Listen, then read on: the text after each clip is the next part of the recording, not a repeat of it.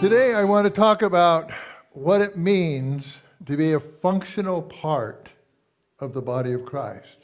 Now, we're all parts of the body of Christ, amen? But the, the goal really is to become a functioning member of who God created us to be. We are a part of His body. If we've been saved and born again, how many have been saved and born again? If you've been saved and born again, you are a part of his body. And it may be, you know, whatever position God has ordained for your life, you are a part of his body. And in order for his body to work, guess what? You have to function in that place that he has given to you. And so when I, when I say becoming a functioning part, you not only realize you're a part of the body of Christ, but you understand what your place is. You understand your position and what it means to be designated in the place that God sets you. In 1 Corinthians 12 and 18, that's not on the slide because I put it in later.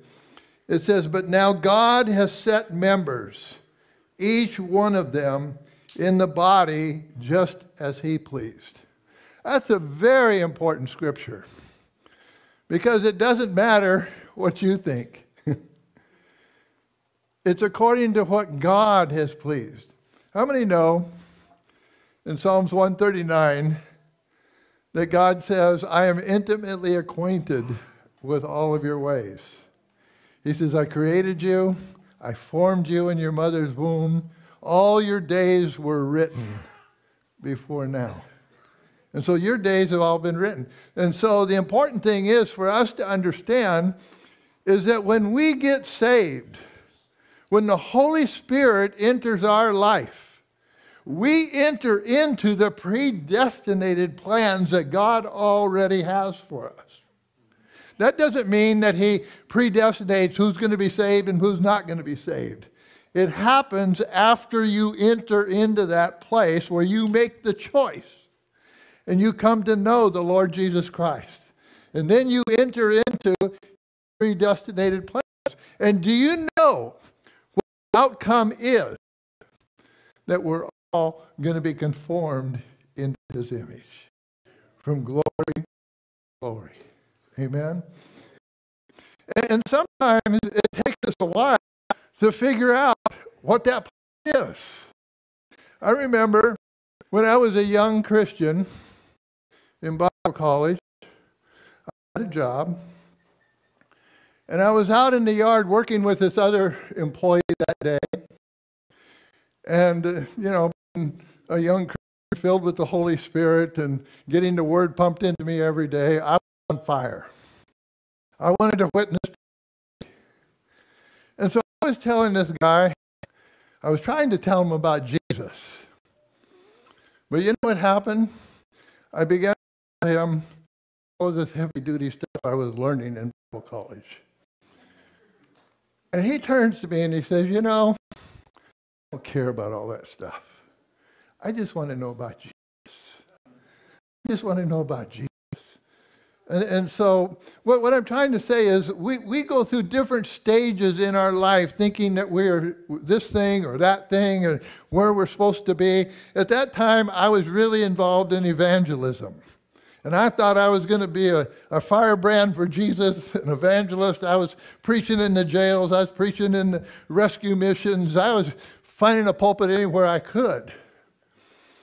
But the more I realized, as I began to talk to people about Jesus, the Lord would always bring to me people that were already saved, that needed to be taught or taught. and I began to realize that I'm not an evangelist, that I'm a teacher. And that, and it, but it took a while to really, you know, find my place and figure out where I'm at. And that's where a lot of you are at today. You're still trying to figure that out. And I want to tell you this. You know, we have a wonderful group here of people that serve. But one thing I realize, it doesn't matter where you think you should be, if you just get in and start serving and get your feet wet, God's going to work all that stuff out in your life. Amen. And then you begin you, you enter into a relationship with him where he begins to speak to you in, in relationship to what you're doing, and a little here, a little there, and finally you begin to get an, an unction. You begin to understand, oh, this is who I am. This is who he's created me to be. And so we begin to figure that out. In 1 Corinthians 12, 1 Corinthians 12 is all about the body of Christ. I'm not going to read it all today. But it says, For as the body is one and has many members, but all the members of that one body, being many, are one body. So also is Christ. For by one Spirit we were all baptized into one body. So we're all baptized, we're immersed into the body of Christ. Whether Jews or Greeks, whether slaves or free, and all have been made to drink of the same Spirit. Amen? So we're all drinking of the same Spirit. And, and the Spirit, the Holy Spirit is not confused. He knows what his commission is, and that's to bring us into the image of Jesus Christ. And so that's a wonderful thing. But before we get too far into what it means to be a functional part of Christ's body, let's discuss what Jesus went through to give birth to the body, for it to become a multi membered body. As it stands right now, Jesus is the head, and we are the body. You know, in John's gospel, there's an interesting conversation that Jesus has with Philip and Andrew. And it begins in John chapter 12 and verse 20, where it says, Now there were certain Greeks among those who came to worship at the feast. Well, let me add something to you. I forgot about one part of that story. We used to have church on Sunday and Thursday, two different services altogether. And it was in the midst of the whole Jesus revolution. Lots of hippies were getting saved, and it, it was crazy. It was like revival every, every service. And, and tens and 15s and 20 people at a time would get saved. And, and in this church, we had three different altar calls after every message one for people who wanted to get saved, another call for people who wanted to get baptized. We baptized in every service. And then another call for people who wanted to be Holy Spirit baptized. And we Holy Spirit baptized in every service. Every service, people came out speaking in tongues. Amen? and so one, it was on a Thursday evening. I'm sitting in there and, and, you know, enjoying the service. And at the end, we have the altar call. And guess who I see walking down the aisle? The guy I was talking to at work that said, I just want to know Jesus. And, and, at that time, I was on, we had three follow up teams one for salvation, one for water baptism, one for spirit baptism. And salvation, water baptism. And I was the one appointed to him to lead into the Lord that night. Talk about God's mercy and his, you know, being the witness that happening even after I blew it. God's grace. And so continuing there in John, Jesus said, uh, or John 20, there were certain Greeks among them who came to the feast. And then they came to Philip, who was from Bethsaida of Galilee, and asked him, saying, Sir, we wish to see Jesus. And Philip came and told Andrew. And in turn, Andrew and Philip told Jesus. Now, Jesus' response here is really interesting because he points them to the body of Christ, not to himself. But Jesus answered them and saying, The hour has come that the Son of Man should be glorified. Most assuredly, I say to you, unless a grain of wheat falls into the ground and dies, it remains alone. But if it dies, it produces much grain. And so he's talking about the body of Christ, the harvest that is to come forth from, the from his seed that was planted in the earth. And when that seed grew up, guess what? It wasn't just one seed anymore, it was the harvest. And so Jesus is speaking of the body of Christ that would come forth from his seed as a mighty harvest of souls who would be his servants. And then we find in the next verse, verse 25, he says, He who loves his life will lose it. If we want to be a part of the harvest seed that produces the multiplicity of God's grace and mercy and favor, we have to die. We have to die to ourselves. He says, He who hates his life in this world will keep it for eternal life. If anyone serves me, listen to this. If anyone serves me, let him follow me. And where I am, there my servant will be also. You know why his servant is there? Because he's so connected to the head. You know, sometimes we're so unconnected, we don't know where we're supposed to be. And we're not where he wants us to be, where we can help reap in more of the harvest. And so Jesus is talking about the body that is so connected to his head that wherever we are, there he is as well. This is what Jesus meant where I am, there my servant will be. And so, what God needed, he, I mean, in his son, he had the manifestation of God in the flesh. But there was one problem with that. Jesus was limited by space and time. God needed a vehicle in which that would transcend every generation. Every generation. He needed a vehicle that would transcend all places on the earth. He needed to be where everybody was, not where just one select people were. He needed to be in every tribe and every nation throughout the world. And so he had to reproduce himself through that seed that was buried in the earth to give forth, to give birth to his body, the body of Christ. And that's an amazing thing because now each and every one of us here today are a part of Jesus Christ. We're a part of his body. Some of you are hands, some of you are feet, some of you are fingers, some of you are parts that are unseen. And those are the most important parts. But whoever you are, you belong to Him, and He belongs to you. And so Jesus had to die so that His divine seed could be planted and multiplied to bring forth a more substantial harvest of sons and daughters.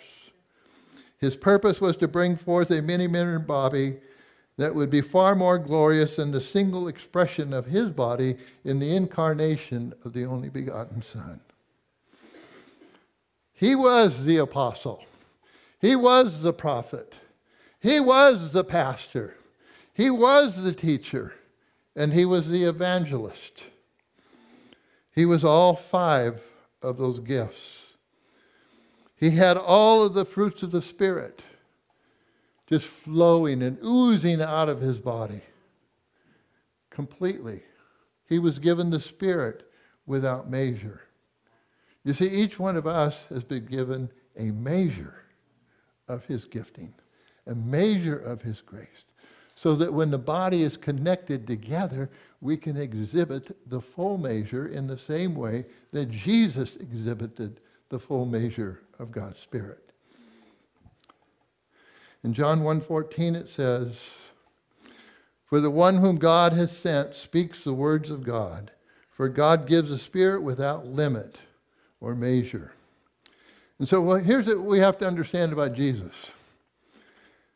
That Jesus was both fully man and fully God.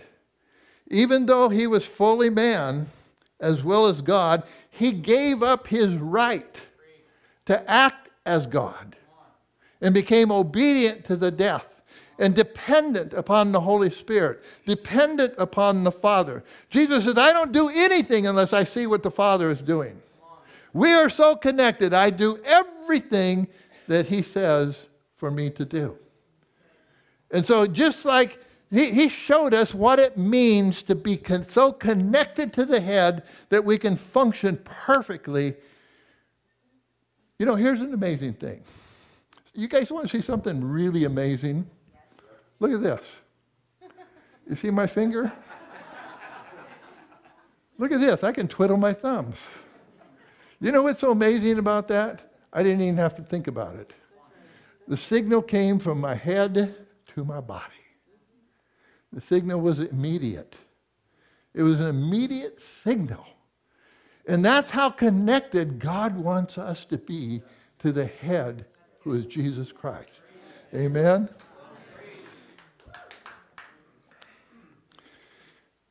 And so Jesus was given that spirit without measure. It says in Philippians 2, let this mind be in you. I like some other translations, they say, let this attitude be in you.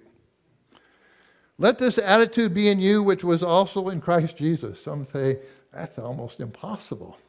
But with His grace working in us, with His Holy Spirit working in us, conforming us into His image from glory to glory, it's possible. Who, being in the form of God, did not consider it robbery to be equal with God. But here it is He made Himself of no reputation. He says, I don't, I'm not going to go down and tell everybody I'm God. I'm not going to act as God. I'm going to be totally reliant upon the Holy Spirit working in me. And being found in the appearance of man, he humbled himself and became obedient to the point of death, even the death of the cross. And so it was in this form that Jesus manifested all of the authority of the Father with the gifts and the fruit of the Spirit as the Son of God. He was the body of Christ, fully dependent upon the Holy Spirit working in him. And so, as I said before, each of us today has been given a measure of his gifting, a measure of his grace, a measure of his faith. Jesus was perfect in faith throughout his whole ministry. He was perfect in faith. That means whatever he prophesied, will come true.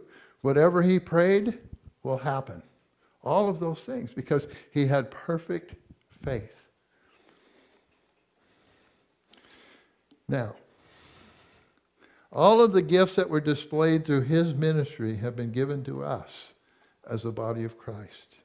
When the whole body eventually comes together to the place where it functions together in total unity and harmony, we will produce the same full measure that Christ exhibited. Now, when you look at the body of Christ today and you think, man, that's never going to happen.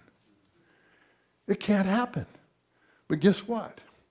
God is sovereign. He knows how to make his sovereignty work.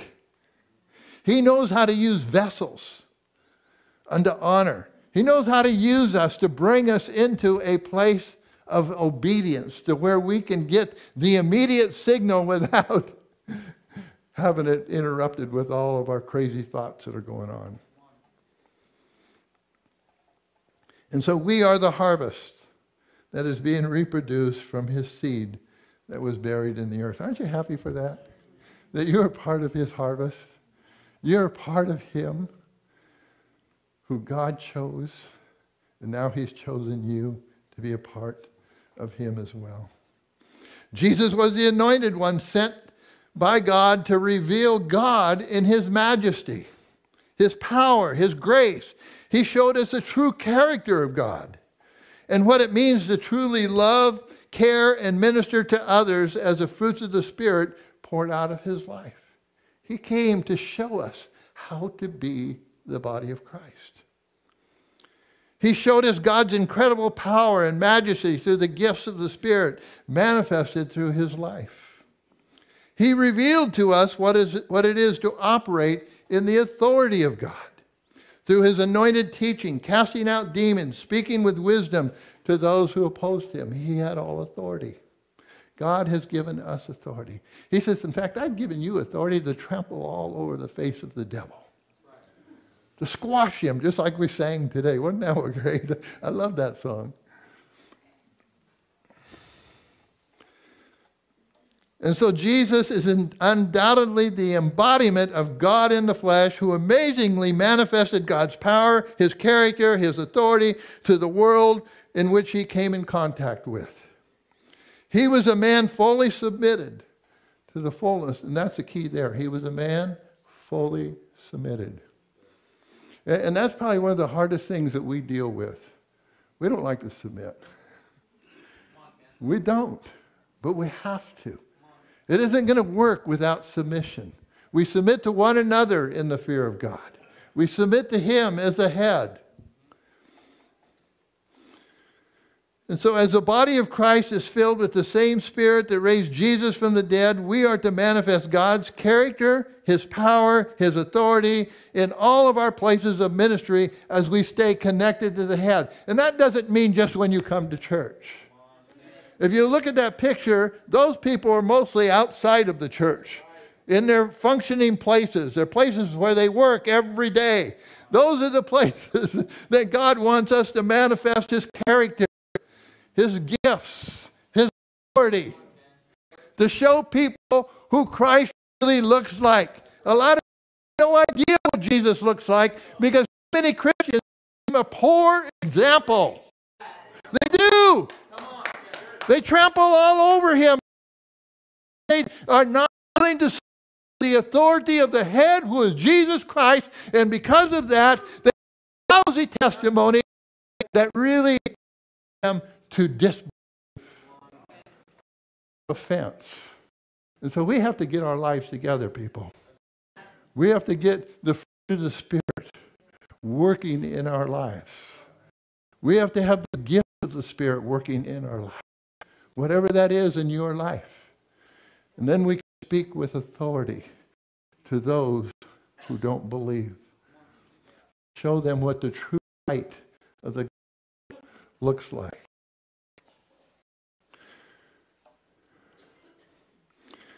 And so, as a body of Christ that is filled with the same Spirit that raised Jesus from the dead, we are to manifest his character, his power, his authority in all of our places as we stay connected to the head. And this is why it's so important that we press in. You know, you don't hear that term too much. When I was growing up in the Lord, uh, our, our, some of our first conversations with people would be, Are you pressing in, brother? Are you pressing in? Yeah, I'm pressing in. Amen. We need to understand what it means to press in. Things don't just happen. You have to reach for them. Amen. You have to struggle for them. It's a struggle. Read Romans chapter 7. Paul had to struggle with the flesh. We have to struggle, but he's gave, given us the power, the Holy Spirit within us to overcome all things to walk as an overcomer in this life. Ephesians 4, verse 7. But to each one of us, grace was given according, there it is, to the measure of Christ's gifts. In other words, the same way your particular gift was working in Christ, it's now working in you. Whatever your gift is, it's the same way. It isn't just because Jesus was Jesus and he was full of faith that he could do all the things that he did. It's because he was gifted by the Father. And we're gifted by the Father. If anyone asks and seeks and knocks, it says they will be given whatever they ask for. And so you, have to hunger for these things. That's one, one of the things that I realize. If you don't have a hunger, you're not going to get very far. You have to hunger and thirst for more of God. You say, God, I want you. I want your work, your spirit working in me in a mighty way, just like it was in Jesus. I want to feel the anointing. I want to sense the anointing flowing in and out of me. In the way that you have, I'll use the word, programmed me. you have set me in the body to do. And so he says in verse 8, he says, when, when he ascended on high, he led captivity captive, he gave gifts to men. That was part of his death. That was part of his resurrection. That was his seed being planted so that we could have gifts. Now, this, he ascended, what does it mean? But he also first descended into the lower parts of the earth. And so the seed of the body had to come forth with power and character and authority as he was planted. He, he who descended is also the one who ascended far above all heavens that he might fill all things. Now, what does that mean? That he might fill all things. We'll try to envision this saints all over the world in every nook and cranny, every city, every village. Saints who have been moving forward. And all of a sudden, God decides to give a big blow on his body. The bones of Ezekiel beginning to rise as a mighty army. And all of these bones stand up with flesh, joints and ligaments connected to one another, become the fullness of the body of Christ throughout the whole earth. That's in the script that God wrote. And it says in the next portion, He gave Himself, and He Himself gave some to be apostles, some prophets, some evangelists, and some pastors and teachers. Now, my primary gift, as I realize over the years, isn't a pastor although I do work as a pastor sometimes. But my primary gift is that of a teacher, and even more so as a prophetic teacher. I understand a lot about the prophetic in the scriptures that God has given me insight to. That he might fill all things. and so in Ephesians 2, it says he's going to fill all in all with his presence. That's an amazing thing that's going to come forth. That the body of Christ, in actuality, will look and feel and taste just like Jesus himself throughout the earth. Now, the next part, or in verse 13, listen to this now. Until when? He gave apostles and prophets and pastors and teachers and evangelists until when? Until we all come to the unity of the faith. Again, that seems like a far thing to happen. It's not, you know, in our mind, we can't visualize that because the body is so disjointed. You know, I sense here that it's pretty well jointed together in a lot of ways. You know, I, I know we had the funeral a couple weeks ago for Charlie's wife, and my wife came back and she said, You know, I was so amazed how everybody just jumped in and pitched in and made the work so easy. And, that's what it is when we all pitch in and help. You know, we really sense the body flowing together and functioning together in perfect unity.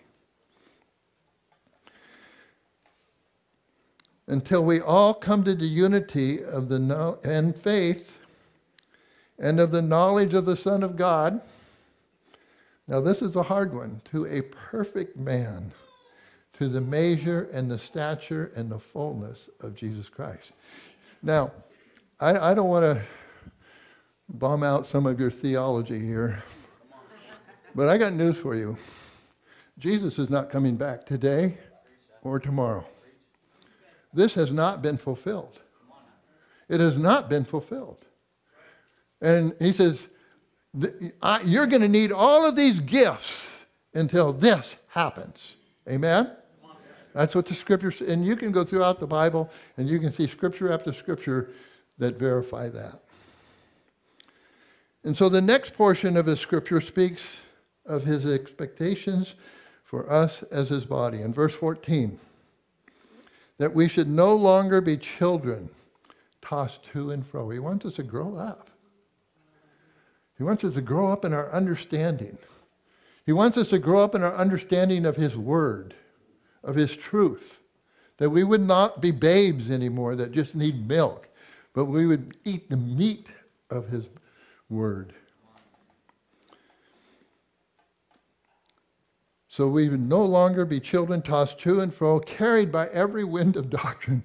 Do you know in the church today there's every wind of doctrine that you can conceive of that flows through it? And a lot of people are just being swayed by that because they don't know what the truth is. You know, you know how people in the banks and whatever spot counterfeit money? They know what the real one looks like. The more you know the real Jesus, you won't be deceived by a false Jesus. Amen? The more you know Christ, the more you know His Word, you won't be filled, but you won't be um, torn apart by those who misuse and wrest the Scriptures. And I tell you today, people all over the place. Turn on, you know, just go on the internet or Facebook or anywhere and listen to some of these people. it's like, didn't they read the word? be careful. We have to be careful in this hour because Satan knows this. He knows how gullible people are. We're all gullible in the sense we want to believe. But we need to be wise and discerning, especially in this hour, because there are so many deceptive voices in the church. And that's why God has ordained the local church. So you know what's coming forth. You know the people that you're listening to. So, what is it then? From whom the whole body joined and knit together by what every joint supplies, according to the effective working by which every joint does its share. Every part does its share causes growth of the body for the edifying itself in love. Now, we know now that Jesus was given the Spirit without measure to adequately express the Father's image and beauty to all who witness his coming. The body of Christ, with Jesus as its head, will express the fullness of God's beauty and power to all who witness his glory, and then the end shall come. Now, I want to fast forward ahead because we know Jesus, the script has already been written. So let's look at the end of the, let's look at part of the script that's close to the end. And we find that in Joel chapter 2, a picture of Christ's body before he returns. In verse 11, the Lord utters his voice before his army, for his camp is exceedingly great. He who executes his word is powerful. That's you. For the Lord is great and very awesome. Who can endure it? In verse 2, it says, A people come, great and strong, like whom has never been. This picture here is a picture of his body that's never been seen before on the earth. It's a fully functioning army so connected to the head, they all move in sync with one another and with the head. He says in verse 3 A fire devours before them, the land is like the Garden of Eden before them. You know, I, I could get into a lot of this, but I'm not going to. But I am going to recommend this book. You can get it on Amazon, and whoever wants it can have it. Um, but um, this, this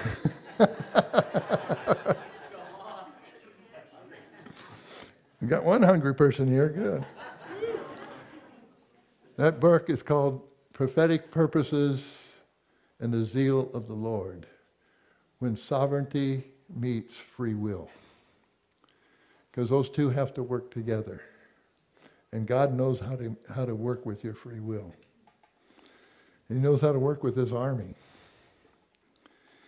He says, Their appearance is like the appearance of horses, like the steeds they run, like the noise of flaming fire that devours, like people set in battle array. They run like mighty men. Everyone marches in formation. They do not break rank. They all, and this is my add in here, they all know their positions and anointing in Christ. There's no need to push, there's no need to shove, there's no need to be jealous of one another because everybody knows who they are in Christ. They're all connected to the head equally. They do not push or shove one another. We, we just totally march and call him in sync with his voice as he's speaking to us. They run to and fro in the city. They climb into houses. They enter windows. In, in, they enter windows like a thief. I used to wonder, what in the world are you talking about there? But you know what?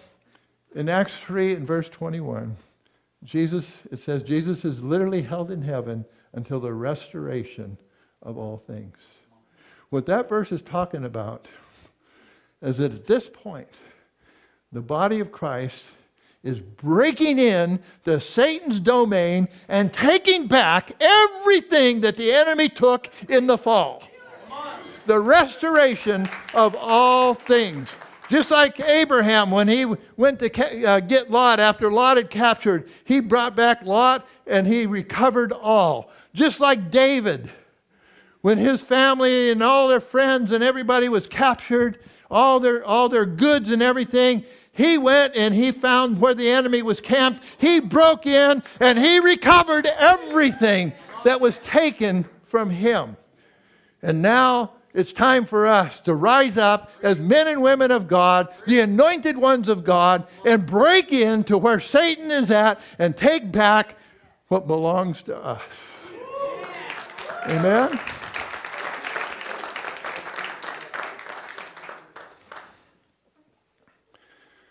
So, how does the seed that was planted through Jesus, his death, burial, and resurrection, become a harvest of souls? With a many membered body, fully expressing the full measure of the stature of Jesus Christ. How do we become functioning members of the body? To where every joint supplies, according to every work, effective working by which every part does its share and so I want to give you three quick principles here that will help you to strive to become the joint that supplies according to effective working by which every part does its share. And the first point is we must be firmly connected to the head. How do we become functioning members of the body who become so connected to his head that every part does its share. Well, Paul gives us an example in his book, a letter to the Colossians. In Colossians 2 9, for it says, For in him dwells all the fullness of the Godhead bodily, and you are complete in him, who is the head of all principality and power. Then verse 18, it says, no, let no one cheat you of your reward. Don't let anyone cheat you of what I've just shared with you. Don't let anyone cheat you of the anointing that resides within you by not holding to the head, from whom, from whom all the body, nourished and knit together by joints and ligaments, grows with the increase that is from God. And so Jesus is now the head. We are his body. He is the head that gives signals, just like I shared. My head's giving that signal, and I don't even realize it. That's how connected He wants us to be. Amen?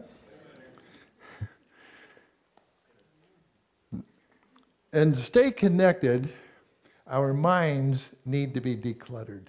How many realize that we have a lot of clutter in our minds? We do. All of this stuff. it's like, how does the voice of God get through all of that?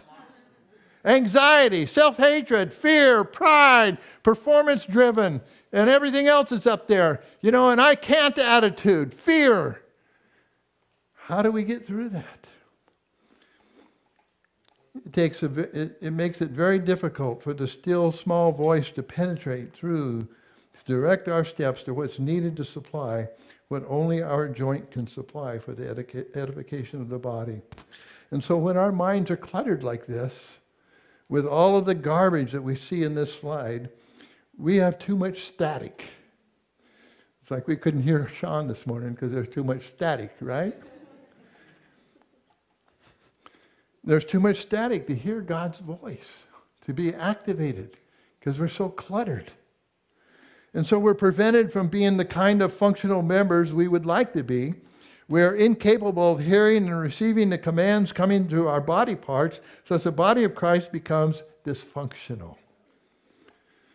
And so, to rid ourselves of the static, we must bring every thought into the obedience of Jesus Christ and His Word. I'm constantly doing that because I understand that that's where the victory's at, is bringing my thoughts in connection with His thoughts. I want your thoughts, Lord. You know why? Because His thoughts are higher than your thoughts. His thoughts are better than your thoughts. Your thoughts are all messed up because I have to wade through all that. and, we, and, you know, and so, you know, we, we think our thoughts are great. You ever been around somebody that is very opinionated and, and, they, and, and you're talking to them and it's like they are so right. and then you point out, well, what about this? What about that? And you realize, they realize, oh, I guess I was wrong. But you sure sounded right. and, that's the way some of us are. We can be so right, but we have to be, we have to humble ourselves. Amen? We have to humble ourselves so that we can hear so that we can hear others as well. And how do we do that? 2 Corinthians 10. For the weapons of our warfare are not carnal, but mighty in God. For pulling down strongholds, casting down arguments, and every high thing that exalts itself against the knowledge of God, bringing every thought, every thought, into captivity of the obedience of Christ and being ready to punish all disobedience when your obedience is fulfilled. Sometimes we forget about verse 6. You have to obey the first three or four verses before verse 6 takes effect. Otherwise, you end up like, what is it, the sons of Shekinah or whatever they were? The demons jumped all over them. We don't want that. But if our obedience, if, if we're being as obedient as we know how to be, and sometimes that's what it is. It, you know, you're just obedient to what he showed you at that moment or whatever, and you can operate under his authority. And so the next point we know and follow the voice of God, our chief shepherd. John 10 and verse 27, he says, My sheep hear my voice, and I know them, and they follow me. Jesus Jesus calls you to be intimate and loving, to an intimate and loving relationship with God, to that secret place, the heart, where true contact with God takes place. This is what causes us to stay connected and for our heads to be, and minds to be uncluttered. Verse 26 We should be like the sheep who know the, know the voice of the shepherd rather than the senseless horse or mule whose movement must be controlled by bit and bridle. Psalm 32 9, don't be like the senseless horse or mule whose movement must be controlled with a bit and bridle. How many have ever been the mule? oh, come on, I know all of you have. how, many, how many know it's no fun being the mule? You know what happens to people who have a mule attitude? They get trials and tribulations. you know why? Because God wants to humble you and test you and find out what's really in your heart. And, and Peter says, if need be, you are in heaviness through manifold temptations. And so a lot, that doesn't mean we're not going to go through stuff. We will. But a lot of the stuff we go through is just because of our stubbornness and our disobedience. And we reap what we sow. And so let's be like the shepherd and the sheep who hear his voice. And then lastly, we must embrace belonging to God and to one another. 1 Corinthians 6:20 You were bought with a price, therefore glorify God in your body and in your spirit which are God's. You know, when I think of how perfectly this human body is put together, how, how can you not believe in God? You know, where every part just knows what to do, functions, and, you know, the head gives us signals and everything. Then it gives me faith to believe that the body can actually function like that. And so all of the elements of my human body belong to each other. Each part is a necessary part of the whole to make it function how God created it. And when part of my body is hurt or wounded, guess what? My whole body is suffering. And, and, and that's why we need the different gifts, the gifts of mercy and so on, you know, that people are able to sense, you know, what's wrong with others so that we can minister effectively. I was going to read 1 Corinthians 12, but, you know, it's talking about, you know, one's a foot, one's a hand, and so on. We're all part of the whole. But every part is needed to belong to Jesus and to one another. And every part needs to be connected through our relationship to Jesus as the head. We are not our own. Guess what? You are not your own. Jesus bought you and paid a heavy price for you, and he owns you. Romans 12:5 So in Christ we who are many members form one body and each member belongs to all the others. I belong to you. You belong to me. You know, if, if we could just get that revelation into our psyche, it would change us, how we relate to one another. Because we all, knowing that if I hurt you, I'm hurting myself. It's true. And so we need to be kind. You know, I, I once um, asked my home group, we were talking about the gifts of the Spirit. I, the fruit of the Spirit. I says, what fruit of the Spirit do you display the most? And they said this or that. And then, then I said, what fruit of the Spirit do you like other people to display towards you? And it was almost an overwhelming yes, kindness. But you know what was interesting? Nobody mentioned kindness when I asked the first question. Isn't that something? We all need kindness. We need to be kind to one another. And so it's very difficult to belong to one another. And my last point here is this community groups is where we stay connected to Jesus. You can't, you can't stay connected in this type of a setting. This setting is important, but community groups are far more important because that's where you work out all of this stuff with each other. That's where you learn to belong to one another, where you're not your own. That when somebody's suffering in your community group, guess what? You feel it because you're right there. When somebody's suffering here, you may not even ever know about it. And that's probably the truth. But when you're in a close knit group of people, you know and you feel and you want to do something about it even if it costs you something. And so it's very difficult to belong to one another and stay connected without experiencing community through small groups. In all actuality, this is where we learn to be the body of Christ that functions together in unity and harmony. And this is the kind of connection that God wants us to experience with Jesus as our spiritual head. Amen. Let's pray. Hallelujah. Father, we come to you today. Just place your hand on your heart. God, I pray today for each and every one of us here that we would all understand and know what it means to be a part of your body and how important of a calling that is. God, that we would take that seriously and just submit our lives to your authority, to what you have called us to do, that we would eagerly seek that position, that gift, that grace, your mercy, and all that you have to fill us, Lord. We would seek that with hungry hearts to belong to one another, to belong to you, and stay connected to your head. We pray this. In Jesus' name we pray. Amen. God bless you.